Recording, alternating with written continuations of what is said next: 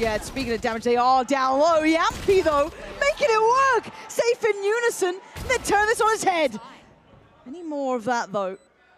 Because look at the HP. It's low. Oh. Trying to play together. Oh my God! They oh, need to close in on that.